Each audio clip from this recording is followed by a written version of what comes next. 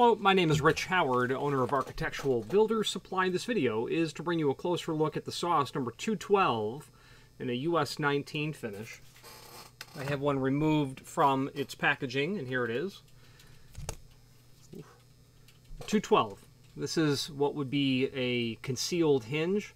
Uh, for many years, it was the hinge that most people really thought of when it came to concealed hinges and there are others that certainly exist on the market, but none of them quite have the name recognition uh, that Soss does, and in my opinion, the simple elegance that Soss does. Um, there are other hinges that exist that allow you to adjust it in three axes. Um, I have a well-formed opinion about that, which I'm sure that I won't be able to prevent myself from sharing. So this is what a 212 looks like. Uh, let's take some basic dimensional properties of it, and we'll talk about exactly where you're going to use it. We'll open it up as if the door's at not, uh, 180 degree.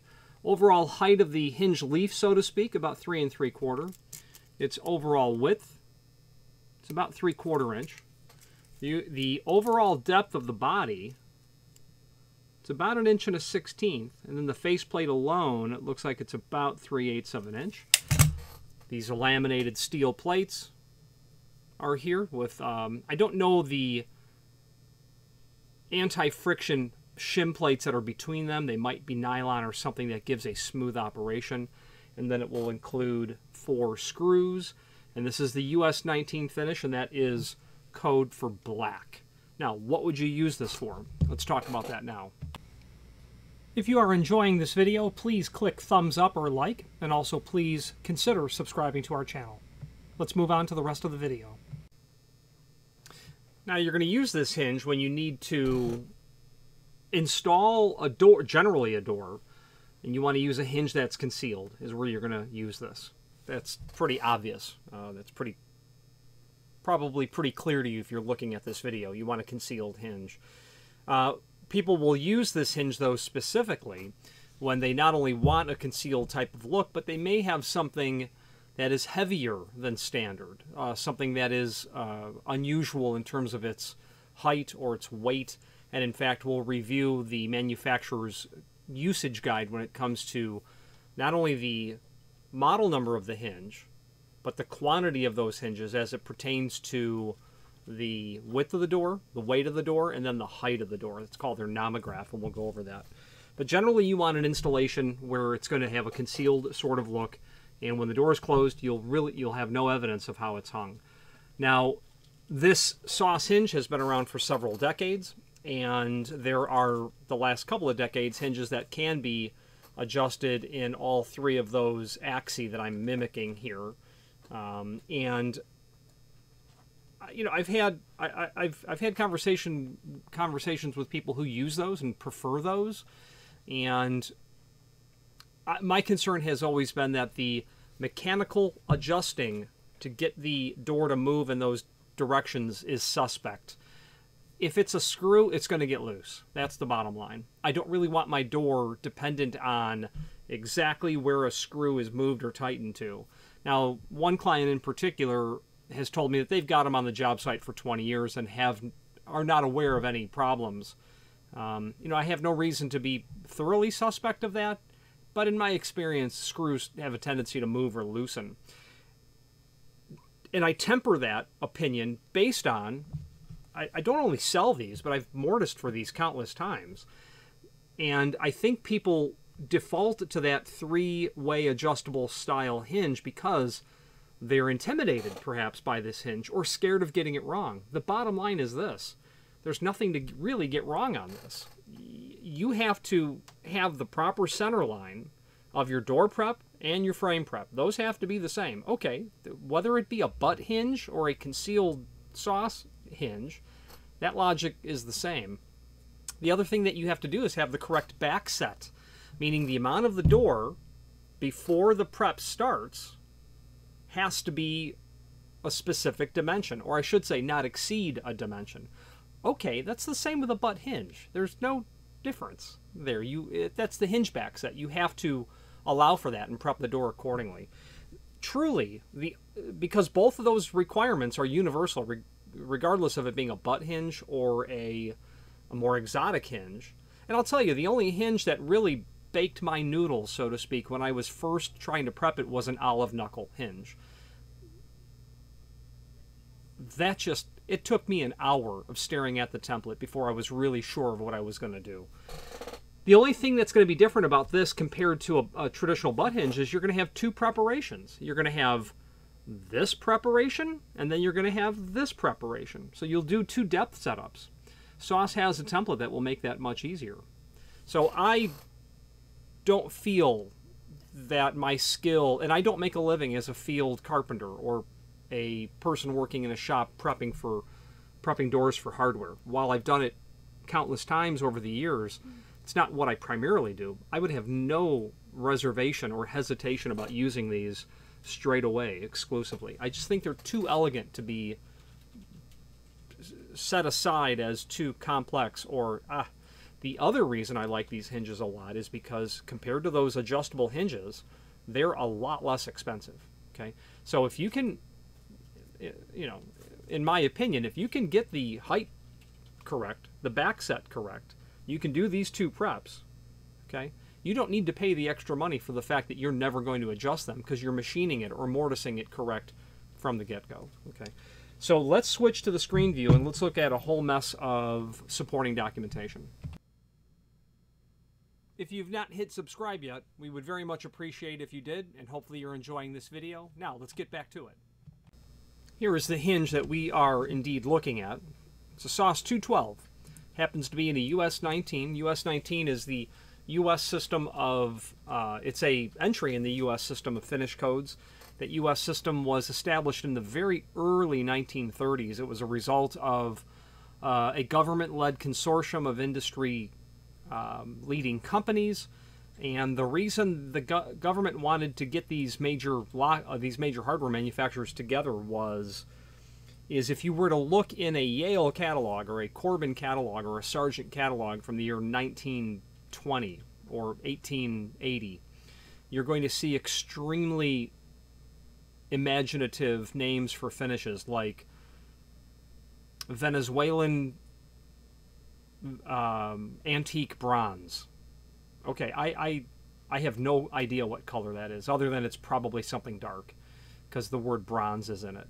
Um, and other very descriptive words used to describe their finishes. And these manufacturers would have a page full of finishes.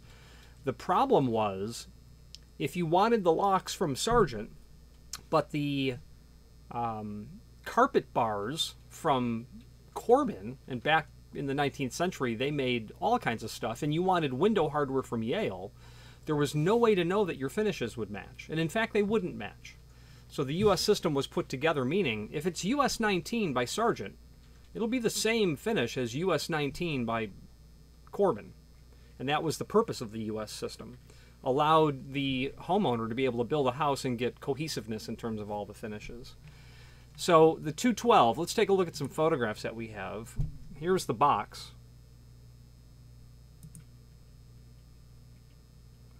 Removed with its screws and then the uh, just a duplicate photograph. Here we go.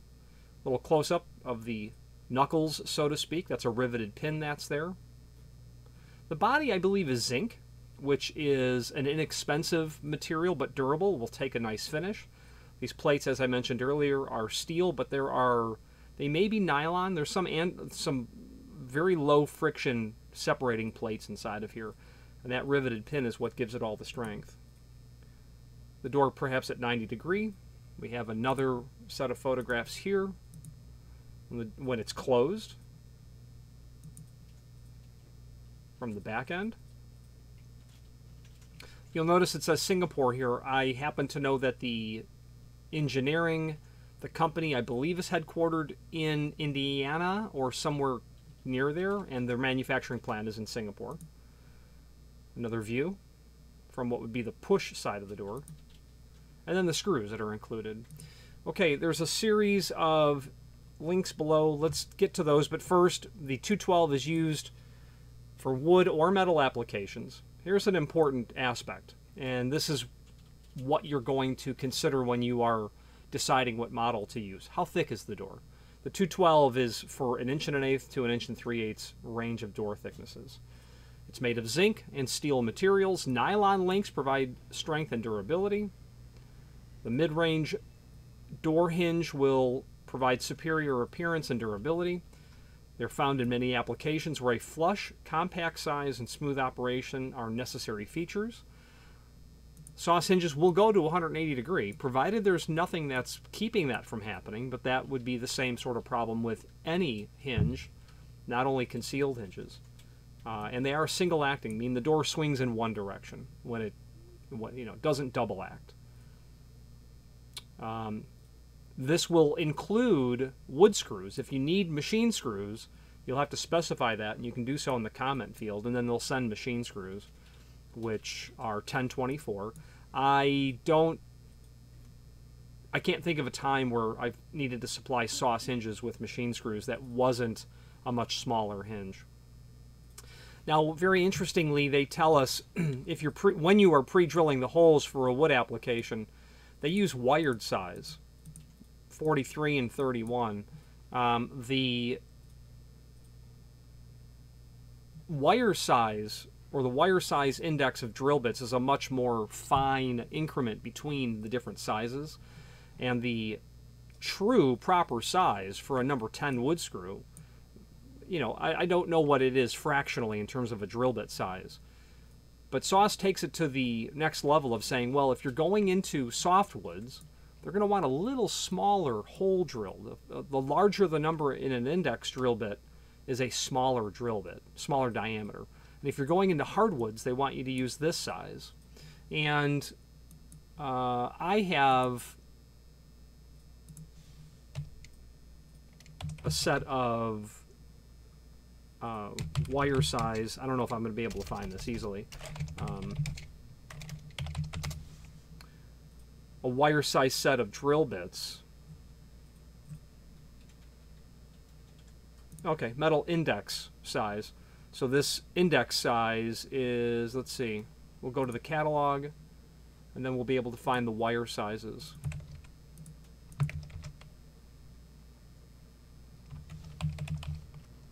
Yeah, so wire size drill bits. So they give you the equivalent. So a 31 was for hardwood. That's 0.12. Well, it's the decimal equivalent.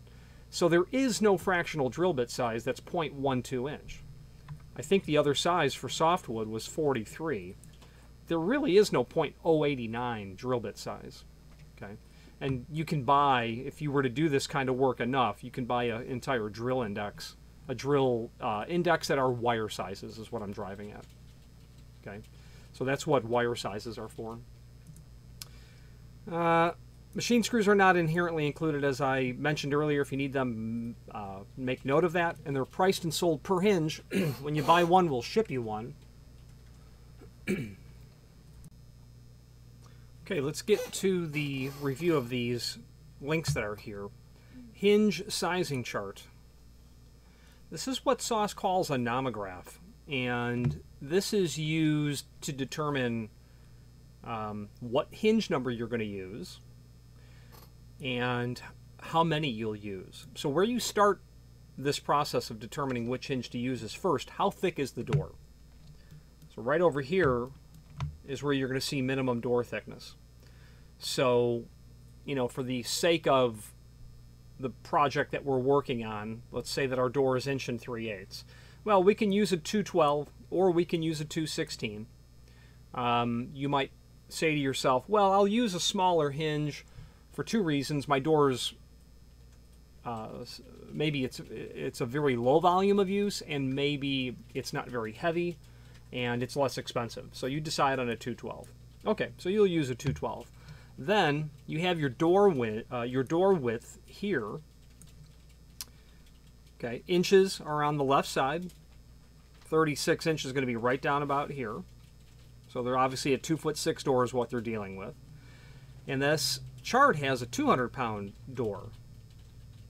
So in our instance, let's say that we have an 80 pound door. So we would draw that line from 26 to 80 and then continue on straight and then hit that line A and then go straight across.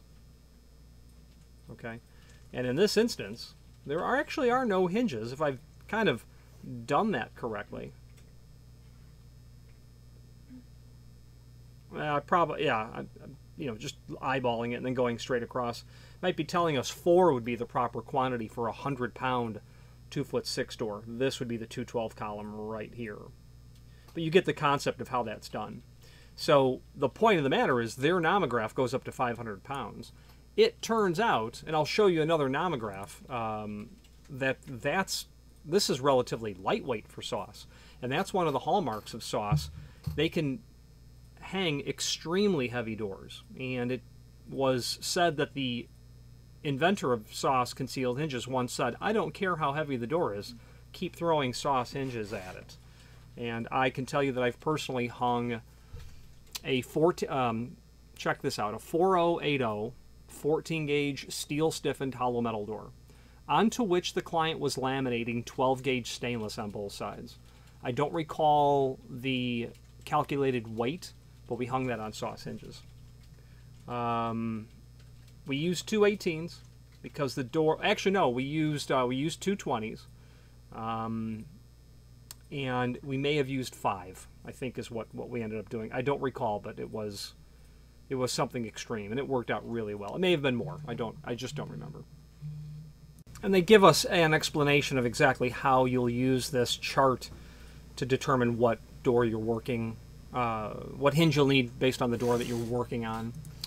Uh, 90 degree hold open. I think this is a drawing uh, that's just, you know, it's, it's a line art drawing that's going to show some dimensions based on a um, vertical axis of pivoting when the doors open at 90 degree. Um, it might just be a result of people being curious about those dimensions. I can't really say why I would want to know this X dimension. Um, and the reason I don't think I need to know it is because I don't extend beyond accepting the information that's on the template. I don't have a need to dig deeper to find out why something is. This is going to be related to the hinge back set. What's interesting is that this hinge has a floating vertical axis of pivoting um, because of you know where the uh, rivet is, these laminated plates. Now let's take a look at cased jamb detail. This is a common drawing where people are going to use Soss hinges in the sense that there is uh, a concealed look and they're showing you here, uh, they're basically showing you uh, what this is going to look like when it's installed. And this reference to the letter E, that's the famous E dimension with Soss, and we're going to show you that on the template. You can't exceed the E dimension, but this is a more illustrated way by which to show you why it is you can't exceed this E dimension, which is the hinge, which is the back set, which is from the outside of the door, or from the from the you know, I may have said push side earlier. It's from the pull side of the door to where the preparation starts. That's the E dimension. We'll look at it when we get to the template. Clearance detail is a document that just shows you what this can look like in different applications. The E dimension is the governing limitation on not only Soss concealed hinges, but all of them. They all must observe a maximum dimension here. But Soss gives you a drawing that shows different ways to be able to detail the face of the door and the wall or whatever it might, or the jamb, and what it would really take in order for you to accomplish 180 degree uh, door opening. And this drawing here is a good example of it. And what they do here is they show you just how close you get to material making contact. And that's a good way to illustrate that E dimension. If the E dimension exceeds what the template calls out, meaning if you push that preparation back further, that's where you're going to have trouble. And you'll see that Soss will do a treatment like this because that's that is definitely exceeding the E dimension those two pieces together. That will stop at 90 degree. In an application like this, um, I'm sorry, this will stop at 90 degree, this application.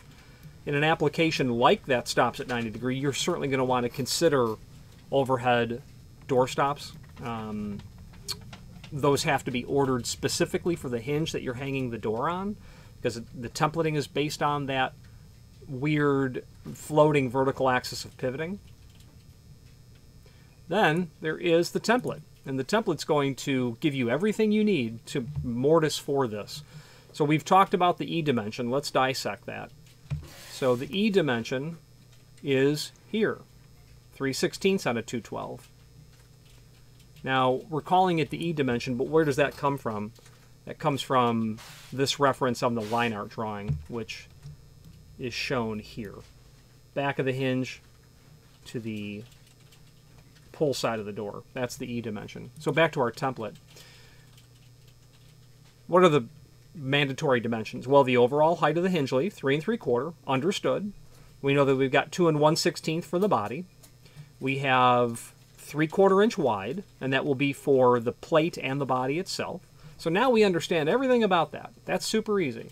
The next question is where do we put that? Well, you know that you cannot exceed 3 sixteenths. So make it 3 sixteenths or smaller.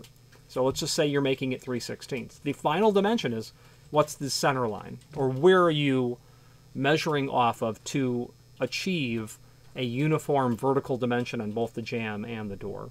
That's all you need to know about this. And in 15 seconds, I just talked about how to mortise for Soss.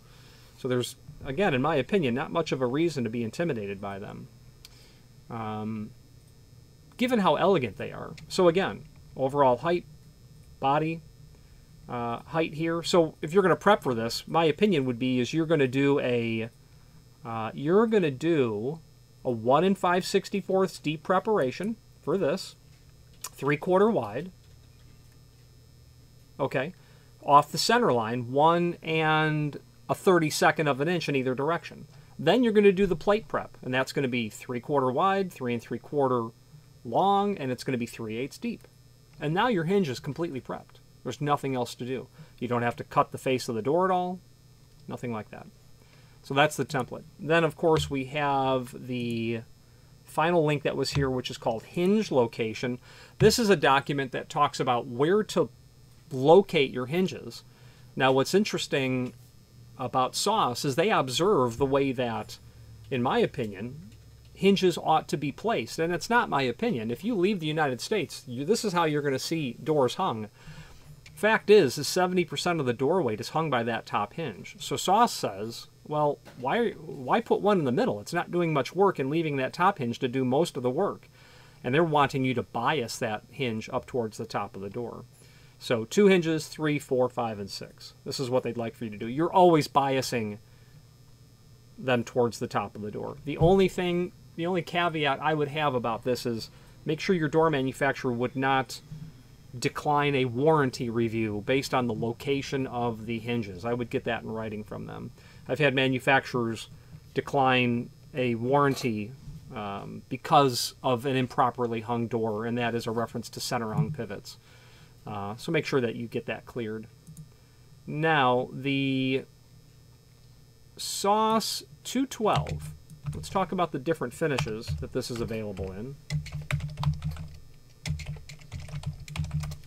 I can pull this up in all of the basic finishes, your brasses, your bronze, your chromes, obviously black, but let's go over it. 24 karat gold plated, that might be discontinued. Uh, these can be done in um, stainless base material, both polished and satin. They can do they can do this in an unplated finish. AB Supply, this is Richard.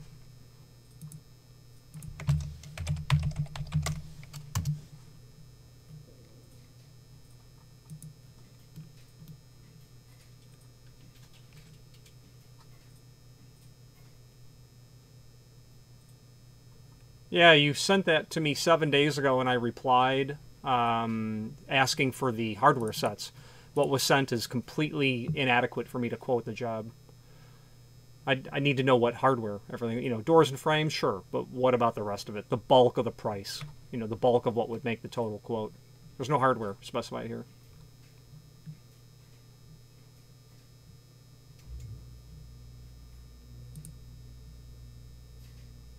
Yep, the same the same email thread from a week ago.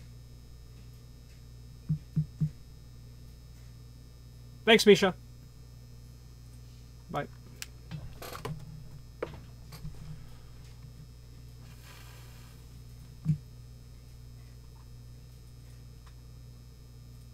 Okay, so phone call interruption aside, uh, unplated brass, a um,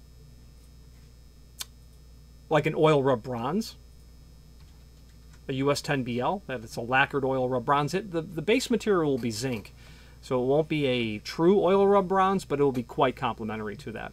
The saw, the uh, 212 can be done in a bright nickel, in a satin nickel, obviously black, polished chrome, satin chrome, polished brass, satin brass, antique brass, and then a white finish as well. So let's click on any of these hinges. Doesn't matter, the description is the same because uh, only the finish changes.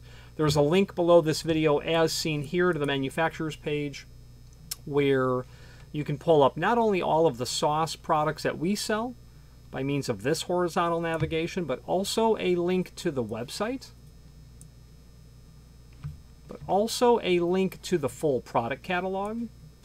And that's definitely worth diving into uh, because Soss has more than hinges, but we'll focus on just the hinges. And as you scroll through this catalog, you're going to get to all of their hinges. You'll get to fire rated hinges, power transfer hinges, uh, hinges intended for substantially heavier grade and heavier weight doors than what the standard hinges can handle. You're going to get into fire rated versions, ones that are for uh, small furniture applications like barrel hinges. You'll get into uh, hinges specifically for metal cabinet installations. You'll get into the um, templates and the accessory uh, machining uh, items available to help you mortise for the material. So that's all in this catalog. That other nomograph that I had mentioned is here, the Hercules hinge usage chart. So if you get doors that are over 500 pounds, you're certainly going to uh, want to possibly consider this, what they call their Hercules hinge. Um, and again, same nomograph that they have here, same sort of um, approach to determining how many. I have sold some of these Hercules hinges. They are just substantial and they're heavy. An interesting development that Soss has, and I don't know if it's in this catalog, it's not. Soss has now a wide throw hinge. And a wide throw hinge is meant to account for an application where you have an unusually thick casing arrangement. So, some sort of unusual preparation that's really happening here. And that's how they account for this. So they're using, you know, this sort of trim detail. And what's interesting about this, it's wide throw in the sense that they're throwing the door out um, of the opening in a in a certain sense. A wide throw hinge would have a vertical axis of pivoting that would be offset from the face of the door much further out. This approach allows you to completely conceal, completely conceal the door, meaning you can apply this, what's really drawn is, you know, something that looks like ranch casing, and you don't tell. You can't detect that there's a margin there between the door and the jamb or whatever it might be allowing you to have a continuous wall of woodwork where doors, maybe closet doors, are, are really completely concealed. Um, you know, if you had touch latches, whatever the case might be, this is a great way to go about doing this. Uh, product brochure is here for that. You can dive into these wide throw sort of hinges along with the uh, template is here as well, but same type of approach. Let's wrap up this video on camera. If you've made it this far into this video, you must be determined to see it through to the end, and we appreciate your hanging in there with us and watching this entire video. It means a lot. It takes a lot of work to create these videos in the sense that, um, you know, it's time taken away from doing other things. However, the advantage for me personally of creating these videos is the fact that it does allow myself to either learn about something new, to uh, reacquaint myself with something, or to reinforce what I believe that I already know. Any comments that you might leave down below would be greatly appreciated. Thank you. In conclusion, if you have any questions on the Soss 212 or any other Soss product, please let us know. Um, there was one time, and I've been selling Soss for about 30 years, there was not too long ago, maybe within the last year or so, a client came in and said he has a defective Soss hinge. And I, have never heard those words said um, about a Soss hinge. Never. Defective. Yeah, it just broke, he said.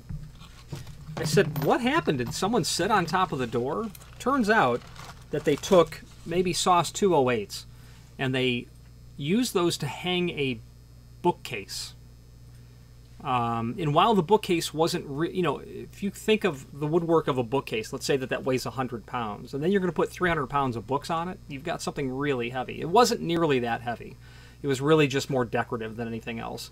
But indeed, the children opened the bookcase, and then two small children climbed and sat on top of the bookcase, and they literally took the hinge, and the client brought in, brought in the hinge, and the hinge, they didn't take the hinge that when the client brought the hinge here, it was literally offset like this, one leaf from the other, and all of those laminated plates were just bent. Nothing broke, nothing snapped, but they literally bent from all of that excessive weight. Uh, and it was the only time that I saw a Soss hinge that was compromised, and it was obviously not a failure of the product. So when you take into account the uh, extreme simple elegance of them, their concealed nature, uh, their they're comparatively inexpensive. Uh, and then you take away from that just what you have to observe that e dimension. You know, if you have if you have three quarter inch thick casing and you want to go to 180 degree, a Soss hinge isn't going to work. In fact, there is no concealed hinge that will work. Uh, a pantograph hinge will work, and if you look up the word pantograph, you'll see this is not a hinge that's used in standard door construction. Um, with all of those advantages and just that small disadvantage, it's definitely a hinge worth looking into. If you have any questions on the 212 or any other Soss product, please feel free to reach out to us. And thank you. Again, thank you for watching, and if you've enjoyed this video, please click thumbs up, please subscribe, and maybe even send the video to someone that you know. Thank you.